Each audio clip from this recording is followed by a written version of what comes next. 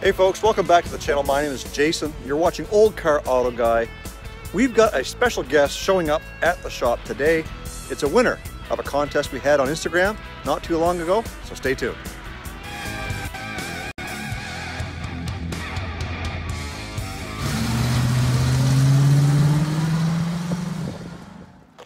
So Jonathan had an appointment here today to get some snow tires put on his Nissan Rogue and well, he had to do an errand and asked me if I had a vehicle he could borrow. Well,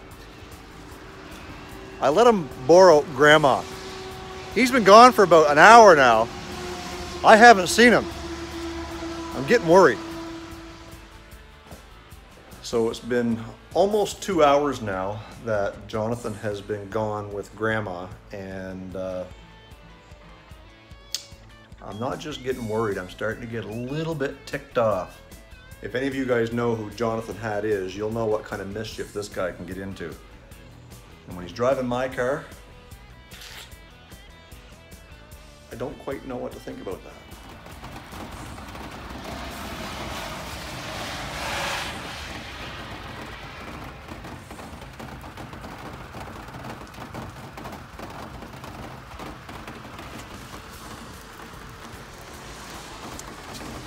Well, looky, looky, who finally decides to show up.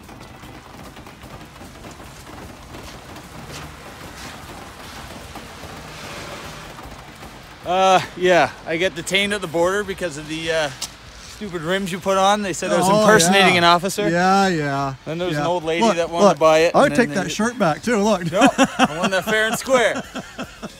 Yeah, the old ladies really like it. I bet they do. Poor grandma. Of course, guys, Jonathan and I were just joking around. I let him borrow the car. He was really only gone for about a half an hour. It wasn't that big of a deal. On that note, guys, let's get into this video. Hey guys, Jason here from Olde Carr Auto Guy. Today we are going to be doing some work on the Grey Goose.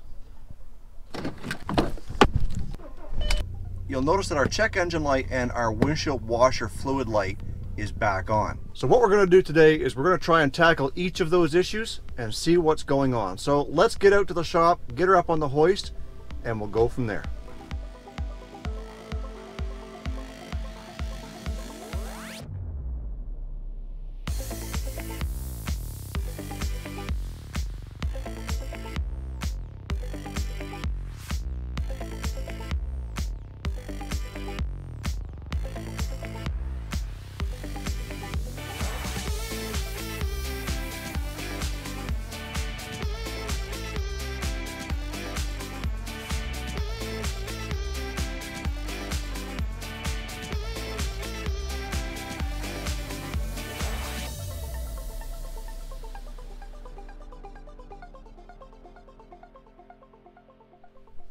So we've made it back out here to the shop and before we put the car up on the hoist, one of the things that somebody had mentioned to me in a previous video oh, quite a while ago was uh, how do you put a car up on a hoist? Where do you know where to lift? So before we go too much further, let's kind of give you a little bit of a tutorial on how I do it.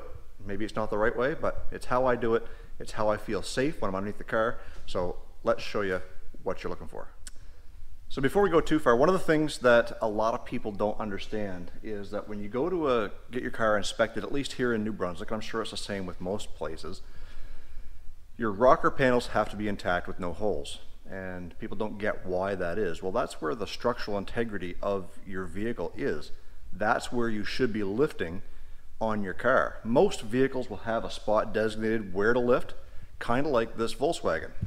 If you see this little cutout here in the plastic molding, well, right directly under that is where the seam of the floor pan and the side body structure meet. That's where all the strength is. So that is where you're going to want to put the pad of the hoist. Let's take a look. This little pinch weld right here, that's where the pad is going to go up and lift on the car. And we'll show you once we get the car up in the air a little bit better look. And on the back side here, there's a little arrow kind of grooved in or molded into the plastic, which tells you this is where you should be putting the hoist arm in the rear. The other thing to remember when you're putting a car up on the hoist is to always let the hoist arms rest on the safety locks, like so. The reason for that is, is that if you have all the stress on the cables and a cable breaks, well, it could come down, jarring the car to the point where it jars it off of the arm. So always have it in the resting, uh, always have it resting on the locks. So as I tried to show you before, this is the seam where the floor pan and the outside panel of the vehicle meet. That's pinch welded together. This is where the structural integrity is up front. Some people will come right inside here to a frame rail. Well, that's not really a frame rail. All that is, is the floor pan of your car. We come back here and the same thing. We've got your seam right here, and that is where we want to lift. So one of the things that we're going to be working on today is we're going to be replacing the fuel filter on this car. I don't know when the last time it was done. We do have a little bit of a hitching uh, once it gets up there in the higher RPM range, and we're hoping it's nothing serious, but I've already done the uh, spark plugs. We've got coils on the way. We're going to do a simple fuel filter change today, and I'll show you where it's located. So if you can't find your fuel filter, all you've got to do is find your fuel tank. And that's this big black plastic thing. If you can see where all your lines come out, which are right there, and follow them up, they'll, they'll come all the way up the length of the car until they reach the engine. In behind, or up underneath this plastic piece here is where the fuel filter is. And you can see it right there. And that's what we're gonna be changing today. So we've got to get this piece of plastic down out of the way so we can get to it. So upon further inspection, you'll see how rusty the nuts are. I'm not sure those are gonna come off. We've got one there, one really bad one up in there. So we're gonna uh, try and take them off with a wrench first. If not, then we may have to break them off and just remove that panel altogether. So what we've got is two 10 millimeter uh, screws that kind of hold this onto the frame. And all that's doing is uh, holding the bracket up in there so that we can take it off and expose the filter. Now the filter that's on it is an original Volkswagen Audi filter. So my guess is it hasn't been changed in a while. And what we're going to be replacing it with is this Napa Pro Select and the part number on it is 23179 if you're looking for a uh, filter for yourself.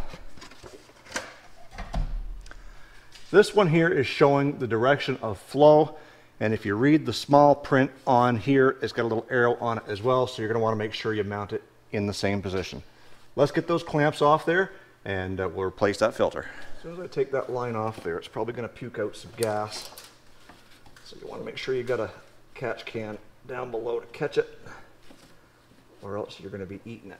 And that's not sliding off there very easy. I'm gonna get a, something to pry that clamp off with.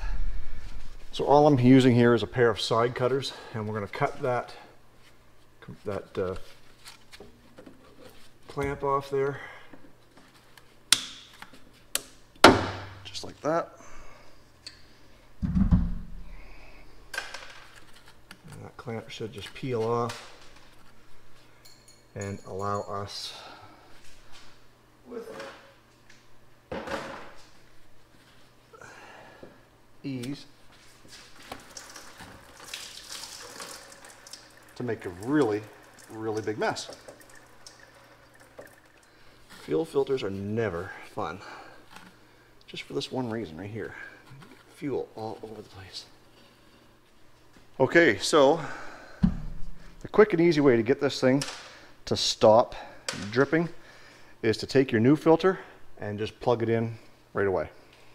So at least now it's not going to be dripping on us. We got to get some small clamps and get that clamp back up there and we're done. So now that we got our fuel filter in place, we're now going to prime the system because now that fuel filter is empty. We're going to cycle the key a few times, fill it up, and then we'll try and start the vehicle, make sure uh, everything's going to start and there's no leaks. So let's try that, and then we're going to tackle the low windshield washer, which I think has a hole in it. So we'll tackle that next. So as we check for leaks, please note there is no seepage here. Where we put this clamp on, there's absolutely none back here where we put this clamp on. But the weak point was where the previous clamp is. It is now weeping, so we've got to replace that clamp as well. I'll do that, and then we'll make our way up front and find the couple of leaks we've got up there. I'm not sure if you guys can see it or not, but right up in here, I can see oil starting to seep out of those cracks, which basically means we're gonna end up having to uh, replace some of these oil cooler lines. So that's not gonna happen today, but I will get it done very, very soon. In the meantime, we've got to check the oil, make sure that it's still up there and that we're not dripping it all out. So the other thing that we wanted to check out today was to do with the check engine light. Now, when I scanned it the last time, the light went out, stayed out for probably three or four days before it came back on. But now it's back on, and it's code number 16795, secondary air injection system incorrect. Let me show you what that is. With just a little bit of Googling, I've come to find that these 1.8 liter engines with a turbo are known for the secondary air injection pump going bad. On this car, it's right there. And the way to know for sure whether it's working is when you first turn the car on when it's cold, you should hear it start up and it almost sounds like a little bit of a vacuum cleaner. I don't have that. So I'm gonna take a look, see what these things are worth and probably have to get one ordered up and get that switched out to help get that uh, engine light out. And you know what? It could very well be a root cause of the stuttering or hesitation that we're having. Not sure. We're gonna hit them all. Anyways, We'll go take a look at that. Last thing we've got to look at is the windshield washer reservoir, and I think I've already found out what the problem is. Now, remember when we first bought the car, there was a great big gaping hole here in the bumper? Well, we've kind of stuck a piece of plastic in there to kind of hold, uh, hold things together and keep the weather out of it. Um, but in behind there is the windshield washer reservoir. And unfortunately, it does have a crack in it. So what we're going to end up having to do is take this bumper cover off to be able to get up in there and uh, replace it or fix it, see if we can fix it. But I don't want to have to take that bumper cover off twice. So I think what I'm going to do is research, find out what a reservoir is going to cost off of a used car. If it's only a few bucks, I'll get it coming and then we'll just kind of do it all at once. So that means everything that we came in here today to do is done. So before we go, we are going to check the oil and make sure that it's up. If not, we'll top that up and then we'll be sure to get those lines fixed in a hurry. We don't want to be running this thing dry of oil, not just cooking the motor, but cooking that turbo too. This is just meant to be a winter beater. I don't want to be spending thousands of dollars trying to get this thing going. So anyways, that's going to do it for today's video and uh, let's close it out. So at this point, guys, I have decided to park the Grey Goose for the rest of the weekend until we can get those oil lines fixed. And the reason why was because when I left here, I took off to go home and realized I forgot my camera. So I came back to the shop and that is when I noticed this. That oil leak is from the car sitting there only long enough for me to back it out of the garage bring it around here, park it, go inside, close the door, lock it, and come out. And then when I left and came back, it left this spot in the short period of time for me to come out and notice the bigger one where it was sitting a little bit longer. So I'm going to take the Elantra home uh, for the week, uh, for the rest of the weekend, and that way that'll give us some time to get the Grey Goose in and get those oil cooler lines fixed, replaced, uh, whatever we're going to do to keep it from leaking. In the meantime that's where we stand. I hope you guys have had a great week. We've got some great content coming your way in the very near future. So stay focused on the windshield not the rearview mirror. I love you guys. God bless. We'll do it again real soon